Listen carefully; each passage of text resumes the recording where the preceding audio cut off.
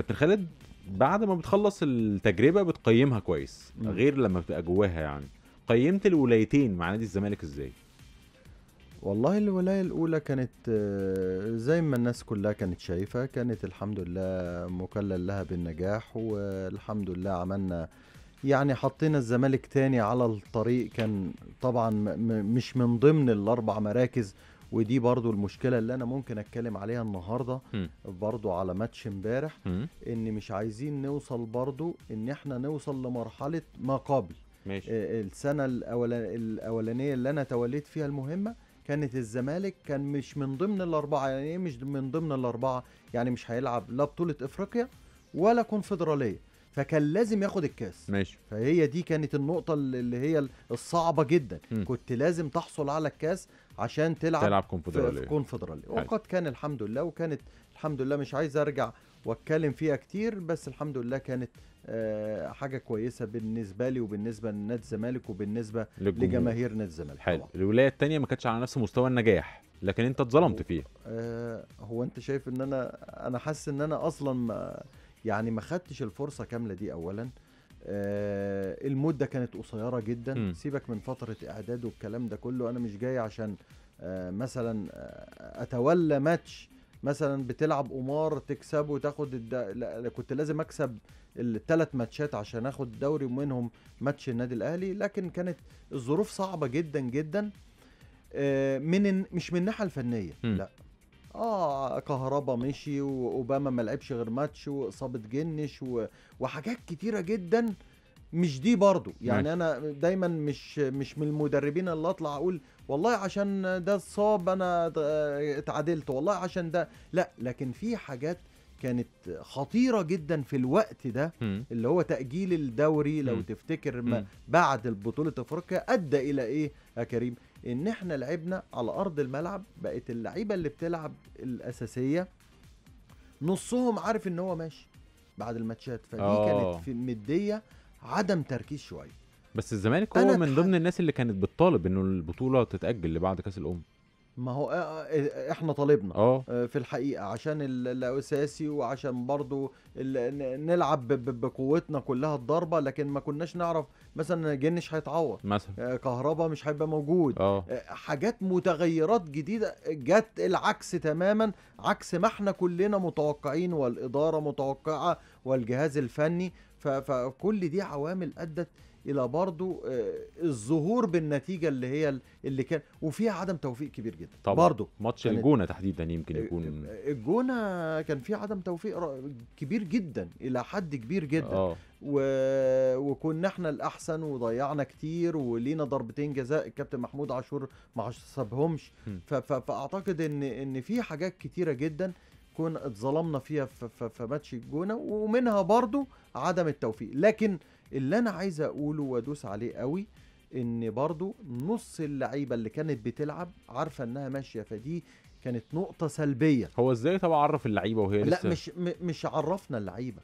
هي ما هو هو هو تاني يوم بعد ماتش الأهلي المفروض إن إحنا نحط قايمة. آه. آه، آه، فالمفروض إن في لعيبة هتمشي. فالمفروض إن بن- بن- بنتفاوض مع أندية عشان اللعيبة دي ماشية. ماشي. منهم بقى تعرف محمد إبراهيم منهم آه، مثلا إبراهيم حسن منهم حميد أحداد يعني فاللعيبة دي عرفت إن في مفاوضات عماد بخصوصها. السيد آه، عمر كتير صلاح كتير عمر آه. صلاح ناس كتيرة جدا. ماشي. من اللي بتلعب اساسي أنا مش بقول لك إن الناس دي نازلة تتغلب لا عمر ما لعيب لا الناس عملت كل اللي عليها في الملعب. ماشي. ولكن برضو جزء من تفكيرك هيروح الناحية التانية. مم. جزء من تركيزك مش هيبقى 100% طبعا. فهي دي المشكلة دي المشكلة اللي أنا يمكن آه، شلت الشيلة كلها لوحدي ومشيت بيها وفي قطاع كبير من جمهور نادي الزمالك أنا بحترمه وأقدره حتى اللي انتقدني وحتى اللي, اللي, مش عايز أقول لك بقى في ناس طبعا آه، ال social media. فيها حاجات ال social media في جدا ال- عنيفة آه جدا طبعا و- وما شاء الله مش عايز أقول لك حصل فيا إيه لكن آه، كان هجوم حتى من قبل ما ما امسك يعني كان هجوم بس انت كابتن خالد عارف انها مخاطرة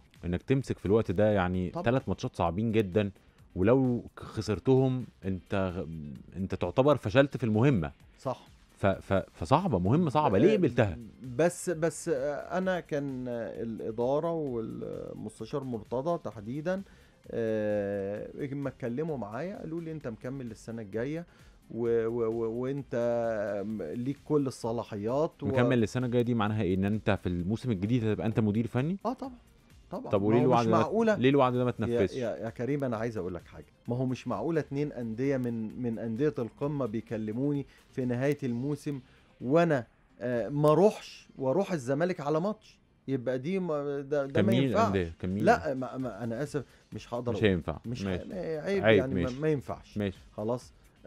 فاتنين أندية بيكلموني وهم عارفين إن ممكن بعد جروس فأجلوا المفاوضات إلى ما بعد. آه. آه، انتهاء عقد جروس لكن كنت confirm يعني آه. في نادي منهم كنت خلاص كنت رايح. فاضل على التوقيع فأنا يعني. مش أنا مش مجنون إن أنا هروح أمسك مثلا ماتش عشان أمشي عشان أمشي بعد فترة إعداد كل الأندية جابت مدربين وأدي بقالي أنا خمس شهور أهو.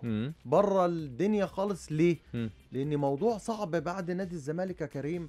أنا جالي أندية كتير على فكرة. مم. جدا. بعد الولاية الأولى. والتانية. والثانيه كمان. والتانية. جالي جالي أندية كتيرة جدا. ماشي. لكن برضو أنا عايز إما أتنقل من نادي الزمالك أتنقل صح. لأن ممكن أتنقل نقلة غلط. ب- تضيع لي حاجات كتيرة جدا مم. فبرضو النقلة بتبقى بيحكمها برضو تفكير كتير جدا في أي عرض بيجي لي ماشي ف... فأنا بدفع ثمن كبير جدا طب أنا عندي سؤال بس يا كابتن خالد اتفضل. يعني الوعد اللي اتوعدته من مجلس إدارة نادي الزمالك بأنك هتبقى المدير الفني في الموسم القادم ليه ما اتحققش هل ده كان متوقف على النجاح في الفوز بالدوري يعني؟ آه، آه، هي هي بقى آه، أنا عايز أقول لك حاجة. أنا اتهاجمت جامد جدا خلاص. وال social media كلها اتقلبت على خالد جلال خلاص. مم. فشل في المهمه يعني أنا أنا عايز أعرف حاجة. وإحنا المدرب الأجنبي ده يعني أنا عايز أفهم حاجة. ليه بنختلق له؟ أنا والله ما بتكلم على كارتيرون خالص مم. في مصر كلها. مم. حتى أدم السلاحدار في الإسماعيلي.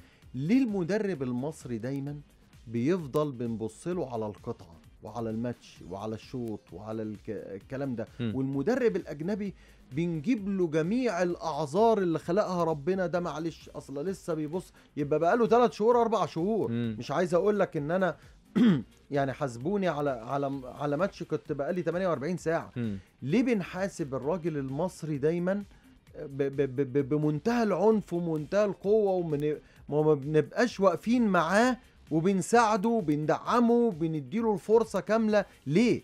وبنيجي عليه والمدرب الأجنبي نفضل نديله وننفخ فيه ويفشل وننفخ فيه ويفشل طب يمكن